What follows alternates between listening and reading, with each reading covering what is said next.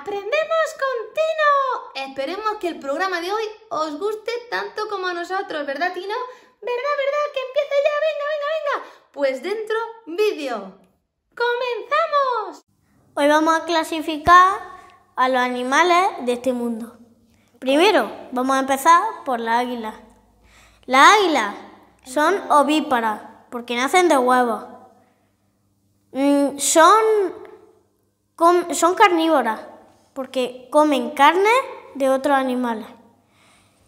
Son vertebrados porque tienen huesos y, tienen huesos, alas y pueden volar porque sus huesos no pesan mucho y también porque sus huesos son huecos. Y yo os voy a explicar lo del el caballo.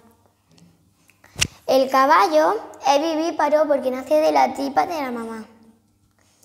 También es, herbívoro porque come hierba. Y es terrestre porque va por la tierra. Bueno, pues ahora voy a explicar que mm, la de un conejo, de un conejito.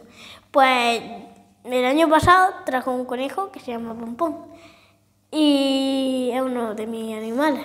Entonces, mira, el conejo es vivíparo, tiene es vertebrado, es terrestre porque no puede ni volar ni nadar. También es una mascota maravillosa para los niños y para los padres que quieran un conejito. Bueno, os dejo con Bueno, pues yo voy a explicar el perro. Es omnívoro porque come de todo. También es vivíparo porque nace de la barriga de la mamá. Y es terrestre porque camina por el suelo. Y ya os dejo con Diego. A ver si quiero explicar algún animal más. Pues a mí, yo también a mí me gustaría tener un ericillo. Los erizos son mamíferos, son terrestres porque no pueden ni volar ni nadar. Bueno, hay algunos sí que, pueden nadar. Em, son vertebrados, mm, nacen de la barriga de su madre, eh, maman de la leche de su madre y y nacen sin púa y sin pelo. Y también es una gran mascota para quien lo necesite. Bueno, adiós. Adiós.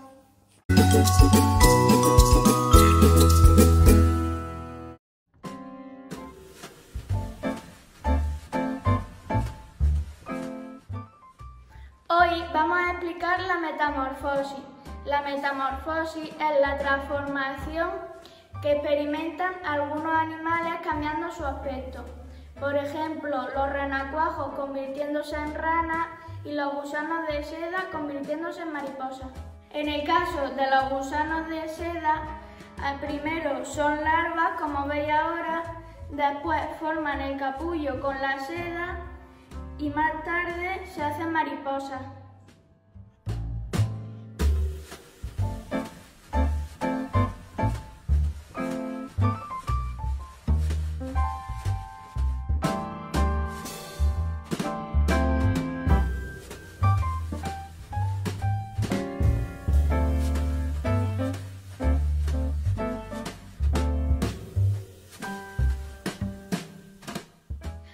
Gusanos de seda se alimentan de hojas del árbol de la morera.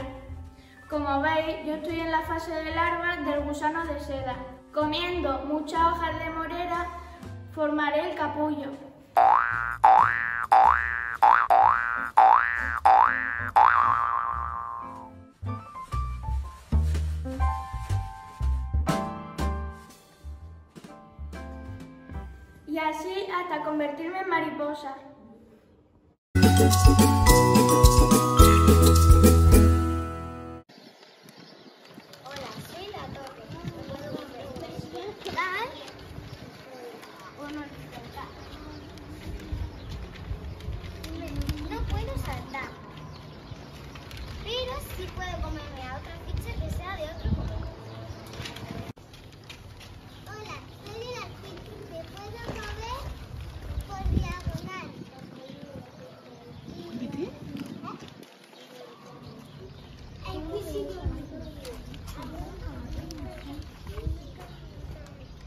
No puedo. No puedo saltar, pero me puedo comer al contar a, de otro color.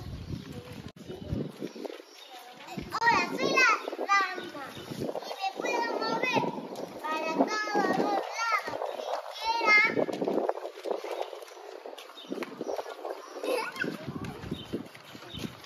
Pero no puedo saltar a una pieza, pero sí puedo moverme a las piezas contrarias. Hola, soy, soy el caballo. Puedo moverme en forma de dos hacia adelante y una, una hacia el lado. Con la condición de que mm, el lado, con la casilla no sea igual que la casilla de quien. Puedo saltar, puedo comer, mm, me puedo comer a los del del color contrario. Hola, somos los peones. Nos podemos mover un paso adelante, pero nunca hacia atrás. Si queremos comer, nos podemos mover en diagonal. Soy el rey, soy la pieza más importante, porque si me matan pierdo la partida. Me puedo mover en todos lados, pero, solo en una casilla. Me puedo mover en todas partes.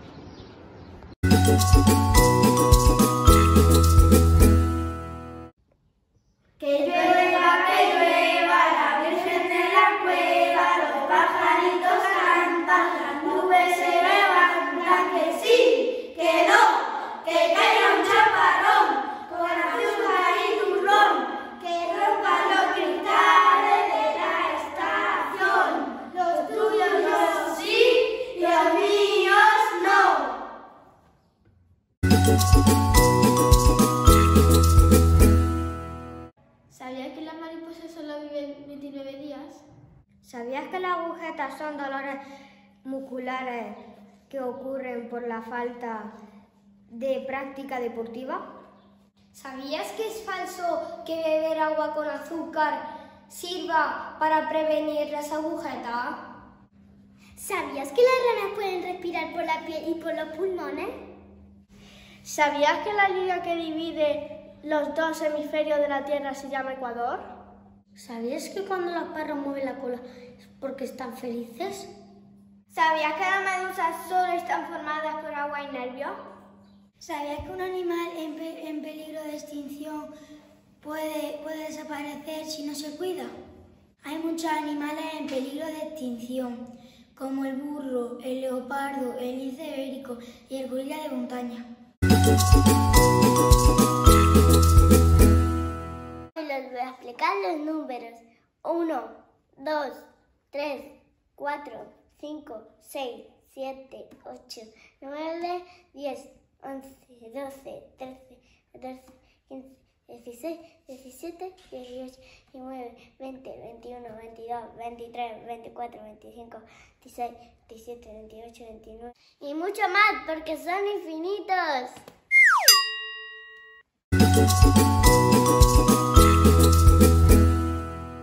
Hoy vamos a hacer una división. Lo primero, 6 por 2 no puedes. Tienes que coger otro número. número. Cada 6 que te dé 22. 6 por 1 es 6, 6 por 2 12, 6 por 3 18, 6 por 4 24. ¿Ya te pasas? Pues 6 por 3 18 hasta 22. Vamos, vamos a ver cuánto es. 6 por 3, 18, 19, 20, 21, 22. Son 4. Aquí ponemos el 4 y bajamos el 0. Tal 6 que te dé 40. Vamos otra vez. 6 por 1, 6. 6 por 2, 12. 6 por 3, 18. 6 por 4, 24. 6 por 5, 30. Y 6 por 6. 6 por 6, 36. 6 por 7, 42. Ya te has pasado. ya hemos pasado. Pues 6 por 6 son 36 hasta 40. Vamos a ver cuántos son. 6 por 6, 36, 37, 38, 39, 40. Son 4. Ponemos el 4 y bajamos el 3. Antes era 6 por 7, 42 y ahora es 43. Pues 6 por 7, 42 hasta 43, 1. Bajamos el 14 y tabla el 6 que tiene 14. 6 por 1, 6, 6 por 2, 12, 6 por 3, 18, ya no hemos pasado. Pues 6 por 2 son 12 hasta 14, 12. Bajamos el 5, tal 6 que te dé 25. 6, 6 por 1, 6, 6 por 2, 12, 6 por 3, 18, 6 por 4 son 24 y 6 por 5 son 30. Ya lo han pasado. Pues 6 por 4, 24, 35, 1.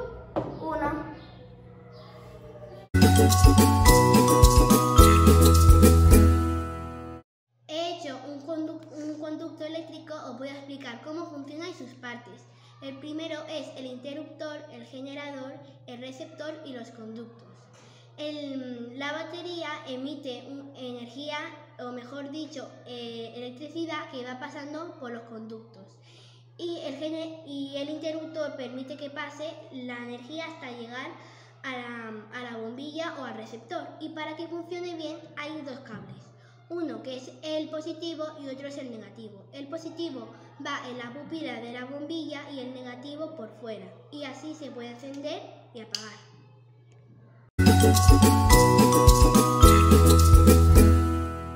La educación vial que es es una medida de prevención de los accidentes de tráfico que afecta a todos los usuarios de las vías, de sus diferentes condiciones, peatón, conductor y viajero. ¿Te conoces todas las señales de tráfico? Esta señal significa dirección prohibida, por ahí no pueden pasar los vehículos. Esta señal significa que nos debemos pararnos. Debemos mirar de un lado a otro y si no hay ningún coche, pasamos. Este es el paso de peatones, donde siempre tenemos que ir cuando vamos caminando. Recuerda que con la bicicleta también debes cumplir las señales de tráfico. Y recuerda que siempre ti- tienes que utilizar el casco.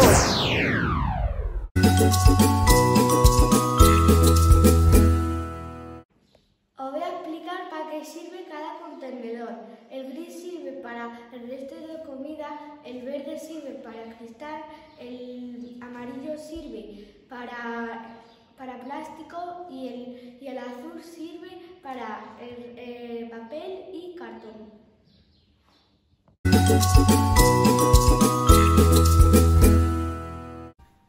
Hoy vamos a jugar un juego de tablas.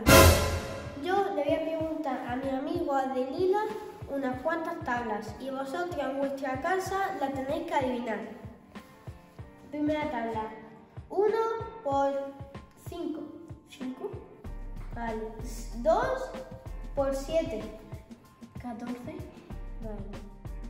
10 por 4. 12. Vale. 4 por 8. Eh, 32. 5 por 10. 15. 6 por 7.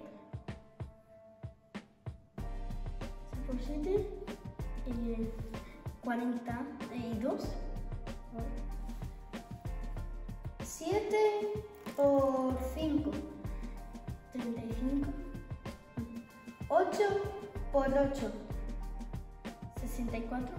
Vale. 9 por 2. 18. Y 10 por 10 por 7. Es 70. Muy bien. La adivinadas todas. ¿Vosotros habéis podido adivinarlas? Seguro que también las han adivinado. Seguro.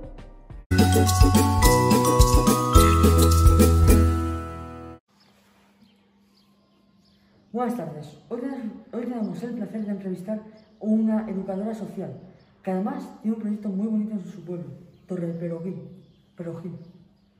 Hola Katy, es un placer entrevistarte en nuestra televisión de Coles Orihuela. Igualmente, un placer, el placer mío estar aquí con vosotros y vosotras. Bueno, Katy, eh, ¿podría hablarnos de la Casa de la Igualdad de tu pueblo? Bueno, pues la Casa de la Igualdad surgió en 2017, un pueblo, es un proyecto del Ayuntamiento de Torre Perojí, subvencionado por la Diputación de Jaén, y básicamente es un centro de referencia en igualdad de género, en la lucha contra la violencia de género, Trabajamos talleres de corresponsabilidad en una casa física que tenemos, donde hacemos talleres de cocina, hacemos talleres de tareas domésticas y luego aparte se trabaja tanto con el instituto como con los centros de primaria, pues talleres de igualdad de género, de violencia de género, de acoso sexual, todo lo que tiene que ver con, promocionar lo que es la igualdad de género y luchar pues, con, con la erradicación de la violencia. ¿Qué actividades desarrolláis allí? Pues básicamente es un taller de corresponsabilidad familiar donde el alumnado llega y por grupo, semejando de que son familias, se les establece unas funciones que ellos y ellas son los que se encargan de, gestionar. Se les da a ellos la función de que ellos se creen una familia y que gestionen las actividades. Entonces, pasan por diferentes estados, pues que son la cocina, los baños, lo que es arreglar un dormitorio, hacer la colada, hacer talleres de jardinería, bricolaje. Y luego aparte, también se trabaja con los centros educativos, yendo, en este caso voy yo a los centros educativos a dar talleres pues, de violencia de género, de igualdad de género, todo lo que tenga que ver con, el tema de la igualdad entre hombres y mujeres. Hace poco vino una trabajadora social hablando de sororidad. ¿Piensas que hay bastante sororidad entre las mujeres? Pienso que debería de haber más. Creo que a día de hoy no hay la sororidad que, que debería de haber, pero sí que estamos en el camino. Yo siempre cuando hablo con chicas, sobre todo con chicas jóvenes, digo que ya bastante se ha encargado la sociedad y el patriarcado de echarnos piedras sobre nuestro propio tejado como para nosotras machacarnos más. Entonces es verdad que necesitamos aprender unas de las otras, crear una hermandad y trabajar conjuntamente por eso. Hay un enemigo, en este caso que es el patriarcado y la sociedad machista, que nos está dominando, pues somos nosotras las que tenemos que mm, crear como un paracaídas entre nosotros y abrazarnos. Entonces desde aquí también hago un llamamiento pues para que haya más solidaridad que nos, nos arropemos entre nosotras, que es para lo que estamos. ¿Podría hablarnos del patriarcado? ¿Qué es? Pues es complicado hablar del patriarcado. Realmente el patriarcado es todo. Desde las mechas que yo llevo en el pelo hasta el pintalabios que me puedo echar. Todo está condicionado por el patriarcado. Y, y, lo que conlleva es el machismo, ¿no? Es como una sociedad, muchas veces hablan de embrismo. Realmente no hay un sistema ni económico, ni político, ni social que machaca a los hombres. Las mujeres no hacemos lo que están haciendo con nosotras. Realmente es eso, patriarcado es todo, todo lo que se mueve. Desde que estamos en el vientre materno hasta que nos morimos. Es un sistema que hay, un sistema político, económico, cultural, que nos va manejando y nos va haciendo hombres y nos va haciendo mujeres, porque no solo machaca a las mujeres, sino que los hombres también están condicionados. El problema es que a ellos nos han puesto en una situación de privilegio y a nosotros nos han puesto en una situación de sumisión. Y eso es lo que hay que hacer. Yo, como feminista, creo en el, feminismo radical, que no es machacar, sino ir a la raíz del problema, entonces sería derrumbar todo el sistema y construir los cimientos de nuevo. Ay, pero hay, es difícil, claro que es difícil, pero no es imposible. Para eso estamos aquí, trabajando por eso. ¿Qué tipo de masculinidades hay y cómo nos afectan? Bueno, ahora se habla mucho de las nuevas masculinidades, ¿no? De que hay masculinidades tóxicas, de que hay masculinidades que no son tan tóxicas. Yo realmente lo que siempre le digo a los chicos es que hay tantas formas de ser como personas en el mundo y que realmente hoy en día mm, ya nos gusta el típico chico chulito que te dice nena, que te da una palmada en el culo, que se hace el chulo, que se pelea por ti, que le da un puñetazo a una farola o a una puerta para hacerse... Eso no mola, lo que mola ya es quererse de manera sana y un hombre que realmente nos cuide a nosotros, pero que a nosotros también la cuidamos a él, sino que sea una relación que esté basada en el respeto mutuo, en el cuidado y en una relación que sea sana. Creo que hay un chico que se pone unos tacones o se pone pintalabios no deja de ser menos chico por utilizar esa ropa o ese, o ese maquillaje. Hay tantos tipos de masculinidades como hombres existen, igual que hay tantos tipos de feminidades como mujeres existen. Básicamente eso, no, no tengo una visión De sí, hay masculinidades tóxicas, claro que la hay, porque el patriarcado no hace a los chicos ser así. ¿Vale? Pero no es que sean peores ni mejores, es todo cambiarlo. Estamos aquí para trabajar eso y para cambiar eso y para decir pues que hay otra manera de ser chico en el mundo y hay otra manera de ser chica, básicamente eso. ¿Sobre qué nos va a hablar hoy y qué tipo de actividades nos va a proponer? Bueno, pues hoy vamos a hablar sobre el amor. ¿Qué tipo de amor construimos siendo adolescentes? ¿Es un amor sano? ¿Es un amor tóxico? ¿Qué función tiene la autoestima en ese amor? ¿Cómo construimos las relaciones? ¿Cuáles son los indicios de la violencia de género en relación a adolescentes? Que parece que no existe la violencia de género en gente de vuestra edad y sí que existe. ¿Vale? De eso vamos a hablar hoy. ¿Qué consejo le daría a las niñas que quieren hacer algo, por ejemplo, jugar al fútbol, y los niños les dicen que eso es cosa de chicos? Yo les diría que, que se pongan mano a la obra, que tomen acción, que dejen lo que digan de ella a que les dé igual, que ellas miren por ella y que pisen fuerte y que sigan adelante, porque luego esas personas realmente no van a estar ahí. Son ellas las que van a construir su vida y son dueñas de su vida y tienen la capacidad de jugar a fútbol si quieren, de ser arqueóloga, de ser de tener un doctorado, de ser científica, de ser lo que quieran. Entonces yo les diría que tomen acción y que sigan adelante con sus sueños, que nada haga echa atrás. Pues muchas gracias por venir a nuestra escuela, por enseñarnos que la igualdad es urgente, necesaria y posible. Desde el Colegio de Iguela siempre estaremos dispuestas a recibirte para aprender contigo. Muchas gracias a vosotros y a vosotras.